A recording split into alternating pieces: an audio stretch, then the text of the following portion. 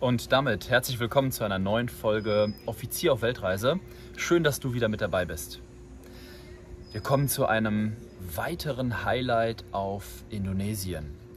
Der Mount Ichen oder dieses Vulkankomplex ist mit eines der Highlights, die man machen sollte, wenn man auf der Insel Java ist und wird auch von vielen Touristen besucht. Die Region dort oben ist bekannt für den Schwefelabbau. Wir haben also gesehen an diesem Tag, ganz früh morgens, also natürlich hochgewandert, das war schon sehr beeindruckend, ähm, dann da oben zu stehen und in diesen, diesen blauen See sich anzugucken, wo der Schwefelrauch so rauskommt, haben wir also gesehen, wie Bergarbeiter mit Karren äh, den Schwefel abbauen. Das meistens ohne Gasmaske oder ABC-Schutzmaske. Ja, wir haben im Internet recherchiert für einen Hungerlohn. Das ist wirklich schwerste körperliche Arbeit. Und das ist dann echt ähm, ja auch interessant, sich das Ganze anzuschauen. In diesem Video siehst du also den Aufstieg früh morgens. Wir haben also wieder einen Guide gehabt, der uns hochgeführt hat. Du wirst sehen, wie die Ausblick dort oben ist und du siehst ein paar interessante Inhalte beim Runtergehen. Jetzt wünsche ich dir aber viel Spaß bei den Eindrücken in diesem Video. Es lohnt sich. Planung und Vorbereitung. Motivation und Inspiration. Offizier auf Weltreise. This is my story. 1.50 Uhr. Wir besteigen den nächsten Berg, hoffentlich. Der Vulkan, Mount Ichen. Ichen. Ich, ich weiß immer noch nicht, wie das ausgesprochen wird. Dort ist eigentlich ein besonderes Naturereignis. Dort ist so eine, so eine blaue Flamme, sagt man. Ne? Also wenn das wirklich ganz früh morgens so eine bestimmte Temperatur hat, dass das da oxidiert und mit der Luft in Verbindung kommt, ähm, da können wir nur leider nicht hin, weil es gerade wieder sehr gefährlich ist.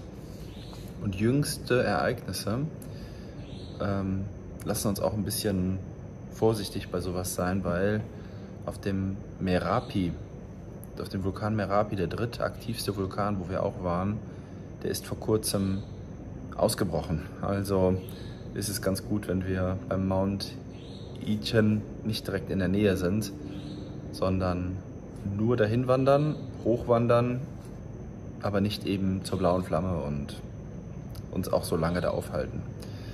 So, das wird aber ein ganz besonderes, ganz spannendes Ereignis. Wahrscheinlich werden wir auch so Gasmasken, ABC-Schutzmasken anhaben, ein bisschen länger hochhiken.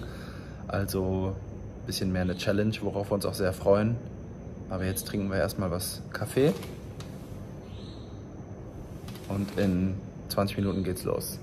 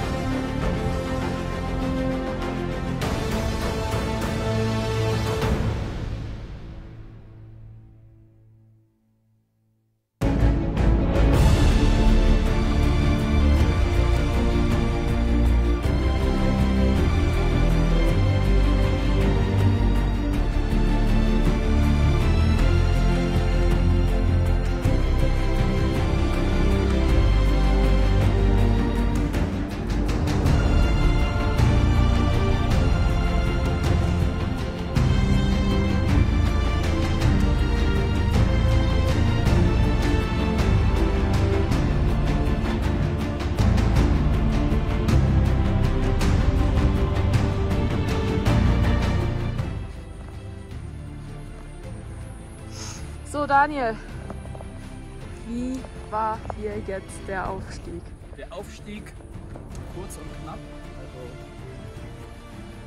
eine Stunde, glaube ich, hochgegangen. Wir waren am Anfang noch sehr weit hinten, also wirklich wieder viele Leute, die da waren. Wir haben die dann alle so langsam überholt, weil wir sind ja nicht die allerlangsamsten.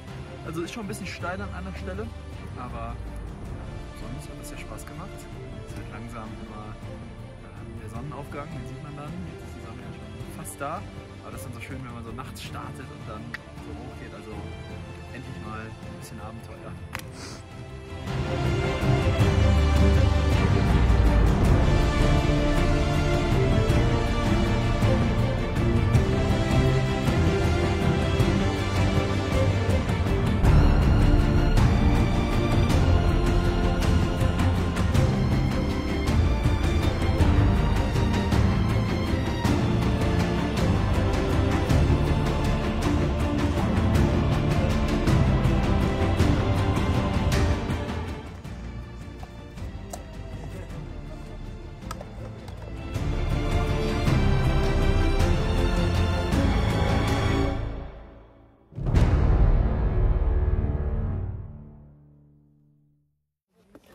Ja, wieder auf dem Weg zurück.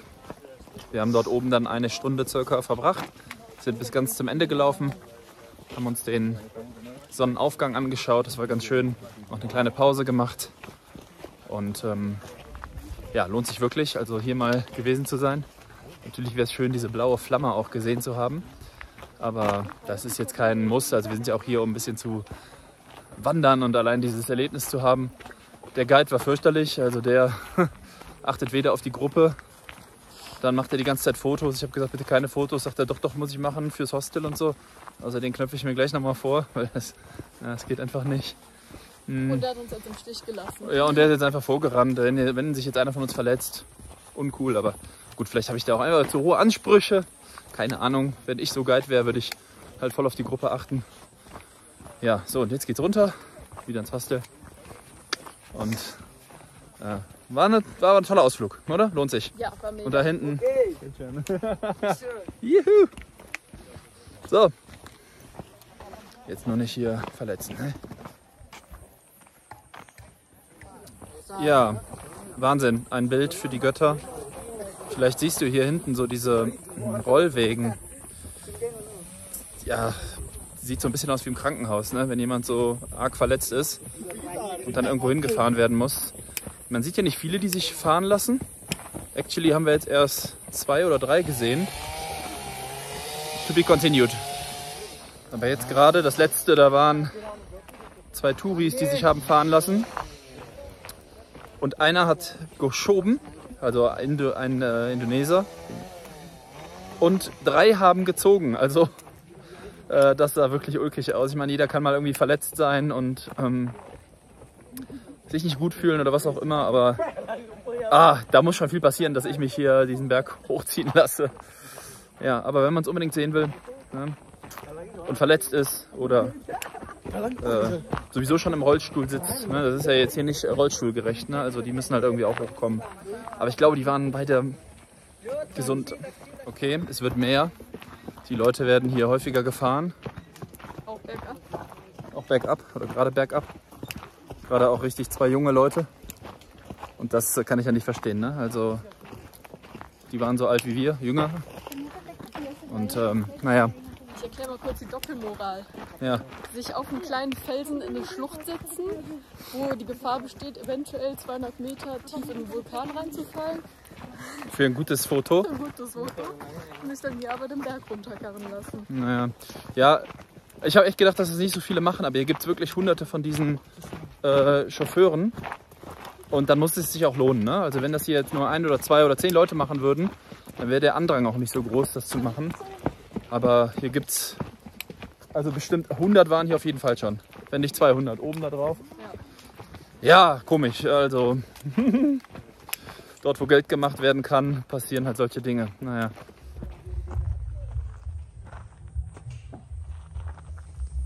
Taxi, taxi? Taxi. Taxi? taxi. Dubai. Just Dubai? Just Ferrari. No. Dubai.